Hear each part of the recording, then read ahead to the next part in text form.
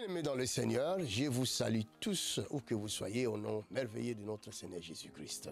Comme vous savez, nous serons très bientôt à Montréal pour deux jours de convention au Canada. Je vous invite tous à venir nombreux, car le Seigneur nous surprendra. Je suis sûr et certain qu'il y aura des signes, prodiges et grands miracles. Le Seigneur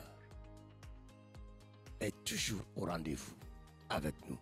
Vous le savez très bien.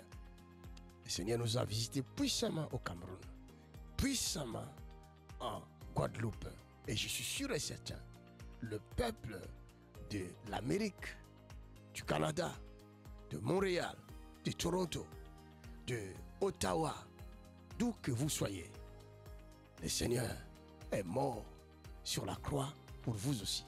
Pas seulement pour les Africains, pas seulement pour les Guadeloupéens, mais pour vous aussi. Et c'est pourquoi je crois fermement que ce deux jours, Dieu nous l'a donné pour vous.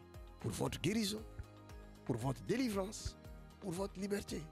Venez nombreux. Ne ratez pas ces deux jours. Le Seigneur fera de grandes choses. Que Dieu vous bénisse.